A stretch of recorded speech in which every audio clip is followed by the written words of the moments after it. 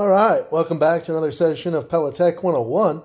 Today we're going to go through change out of the Quadra-Fire loop igniter. So I'm working with a Classic Bay 1200i, the, the 1200 insert. Most of the Quadra-Fires, Castile, Santa Fe, Contour 1200 will be similar. The igniter is going to be located right beneath the burn pot. So we are going to lift this up to be able to access the ash area. I'm just going to pull that ash drawer out of here and that exposes our igniter area. So the igniter is essentially held inside of the cradle here, right at the bottom base of that burn pot, and we have a wing nut over here that we loosen up. And sometimes this wing nut can be tight, so feel free to soak that down with a little WD-40 uh, or some PB Blaster to bust that loose. But once we have that loose, the igniter basically is able to slide in and out of this. So we're just going to pull that all the way out there.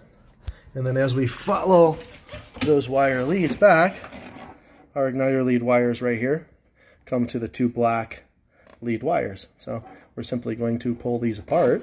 I'm going to prop the phone up here so that we can see that process. So it does not matter which wire connects to which regarding the Quadra-Fire igniter here.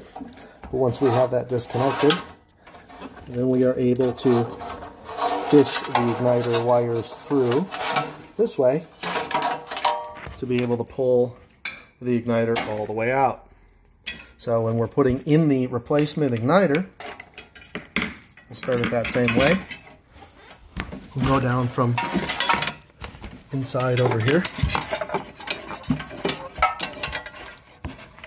And we will get those igniter wires fish through that hole just below the intake. Going to go back over here.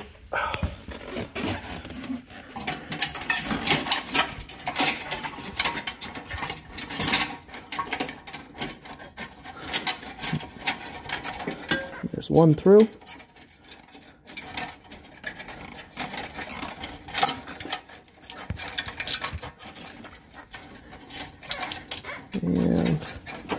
Look at that second one.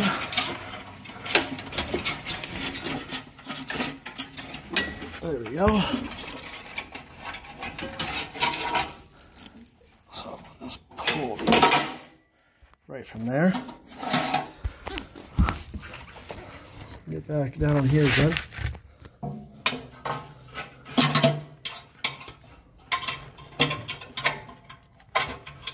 It's not the best camera work, kind of a difficult angle here. But just wanted to be able to show the basics. So we slide that in. So the wing nut is essentially going to hold it exactly where it needs to be. We don't need to crank that down. We can just snug that up. I'll also link this video to the igniter ohm video. So it's always good practice to be able to check the ohms on the igniter to see if it's an operable range or if it's out. And keep in mind that during startup cycle, this igniter is going to get an electrical charge. So we'll see this loop igniter basically turn cherry red, but it is the air that is rushing around that igniter that is lighting our fire. So in the event that our igniter is in proper range ohm-wise, but we're not getting ignition, we absolutely want to check the position, the installation placement of the igniter. And then uh, we want to double check the burn pot. We want to make sure that the burn pot itself, all of the holes are free, open, and clear inside the burn pot. And then from there, we absolutely want to uh, be able to check uh, our door gasket, make sure that that's making a nice tight seal all the way around. Uh, any air loss or air blockages can affect that ignition cycle. So anyway, just a side note there.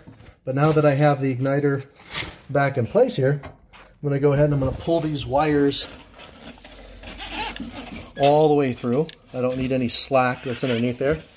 And again, we are just going to connect these uh, back together. Uh, it does not matter which wire connects to which.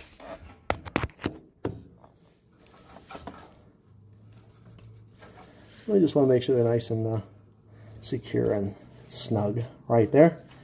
And uh, a lot of times there's a wire tie that secures these wires right here.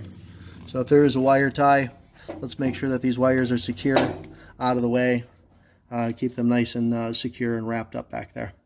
And that is the basics on replacing a loop igniter inside of a Quadra-Fire pellet stove. Any questions, leave us a comment in the video below. We're always happy to assist. Thanks so much for joining us for another session of Pellet Tech 101.